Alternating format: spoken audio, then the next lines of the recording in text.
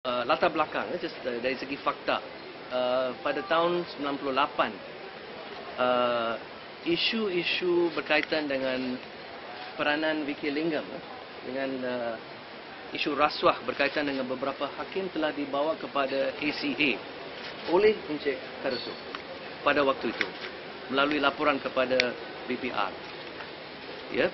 Beliau ditemuduga secara panjang lah. I mean, long and detailed uh, statement taken uh, by the ACA from uh, Mr. Karasu and many other witnesses, including uh, Cik Jayanti here. In 98, eh, I'm just setting the thing in context, in 98, they will tell you a bit more about who else was interviewed. I won't, you know, because they were all part of it. Jadi semua fakta telah didedahkan kepada BPR pada tahun 98. Dapat tetapi kita tahu eh, ini senyata tidak ada apa-apa tindakan diambil setakat dan sehingga Datuk Sri Anwar pada 19 hari 9 September 2007 telah mendedahkan rakaman video yang sudah jadi terkenal ya di saya boleh sebut di seluruh dunia lah ya bukan saja di Malaysia. Jadi itu menimbulkan Suruhanjaya yang ditubuhkan. Suruhanjaya telah jalankan dan inilah laporan laporan dia. Selepas laporan itu uh, di di uh, lepas uh, ya laporan laporan ini kita ada perkembangan sedikit tentang ACA ya. Uh, BPR telah memanggil Cik Jayanti untuk bertanya sedikit tentang keterangan yang diberi kepada Suruhanjaya.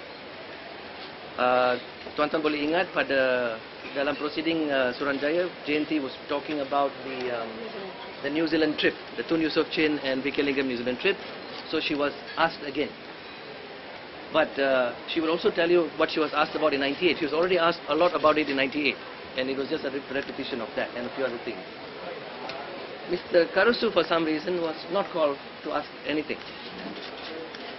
Except for one minor thing where... In fact, I, I think I, I had Ah, you coming on that? Okay. So we'll, they will they will let. I'll just give you the the context first, yeah. And uh, itu saja yang dibuat, eh? Baru-baru ini saya buat satu soalan lisan ya. eh, Saya uh, hantar ke parlimen dan saya dapat mendapati satu jawapan daripada menteri dalam Jabatan Perdana Menteri de facto law minister uh, ta- uh, YB Datuk Nazri di mana beliau mengatakan bahawa ACA telah selesai uh, tamatkan itu siasatan uh, terhadap uh, itu rekomendasi yang uh, di, telah dibuat oleh Suranjaya uh, Wiki Lingam video clip ni- video clip Wiki Lingam ini uh, dan kertas kesihatan telah hantar atau serah kepada peguam negara.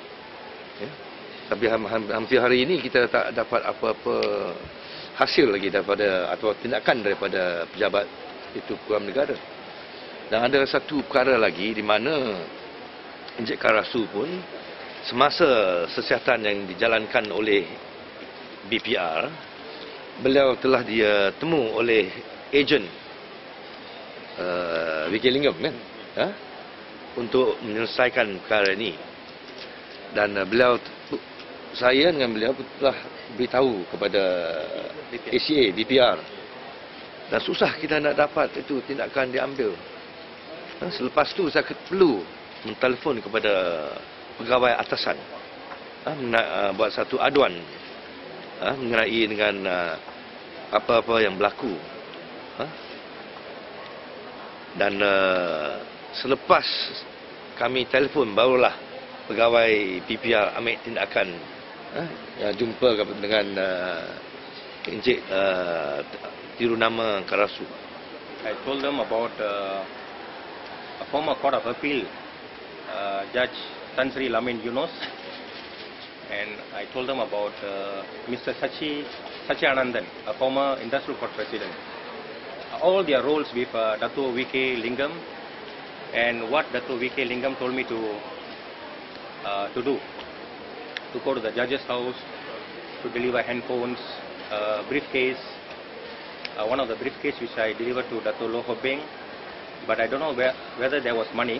Uh, But according to his, his uh, Dato V.K. Lingam's uh, friend, Mr. Francisco Chikun told me that was, there was money inside the briefcase. And the briefcase was a heavy, a heavy and old briefcase, a brown color. I delivered this uh, briefcase personally to Dato Loh Ho Beng. And uh, before I can go to the ACA in 1998 to give all this uh, statement, I was threatened by my brother, uh, Dato V.K. Lingam, uh, V. Siva Paranjodi, my sister V.K. Lechmi of V.K. Lechmi and Co. I was threatened by Mr. Sachianandan, uh, the former court, uh, former president of industrial court. All of these people threatened me in a, in a hotel, Value Inn, in Klang. And my brother took me to a restaurant in uh, Sipak, PJ, and threatened me.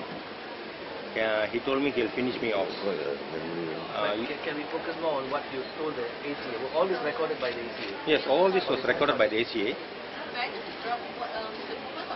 Yeah. So basically, to summarize what the ACA already knows, yeah.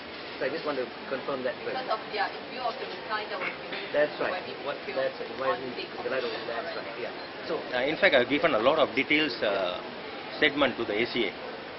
And most of the statement was taken by uh, Tuan Razak and uh, Tuan Sazali bin Salvi, now the present uh, ACA commissioner.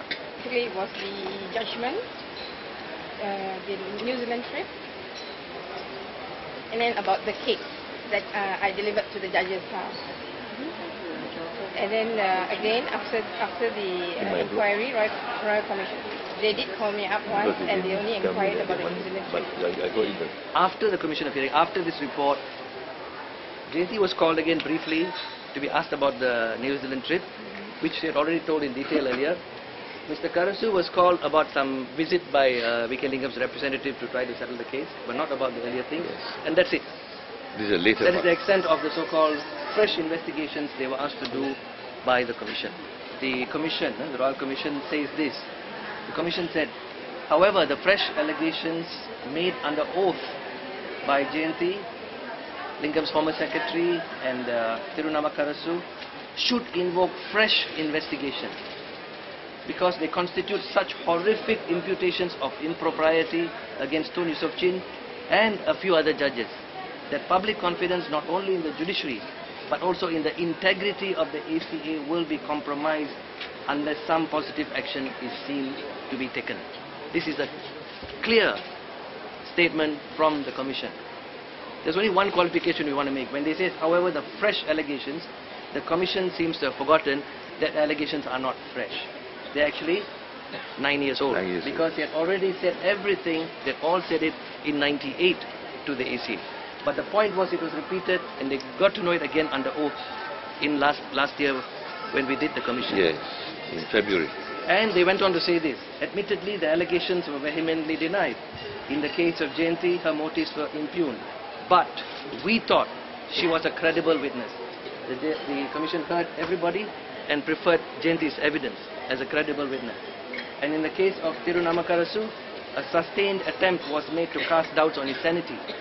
Having seen him under the most severe cross-examination, we are quite satisfied that far from being allegedly insane, he was a level-headed person with such an elephantine memory for dates and events that his testimony cannot just be lightly brushed aside. This is the view of five judges in the commission. What our question is today is what is, is the ACA doing about all this? The So- AG, I think more of And the AG. AG, and the AG now, because the ACA says, of course, as YBV has just said, the investigation is completed. Fine, if the investigation is completed, what what is the ACA saying about the fresh fresh investigations which the commission told it to do? Where where are the interviews? Where's you know what's happened after the commission hearing? We don't see much happening. Our question today is, what is the ACA doing? What is the AG doing? Because it is because of the role of these two bodies that today we are discussing and debating the new MACC bill. Yeah? And how this will hopefully change. Uh, I mean, the government is saying that the current MACC bill will uh, help improve uh, the state of affairs. And we have repeatedly said in the debate, uh, many MPs have said it, you can make a good law, but at the end of the day, a good law is useless if there is no enforcement. Uh, and proper enforcement. issue now.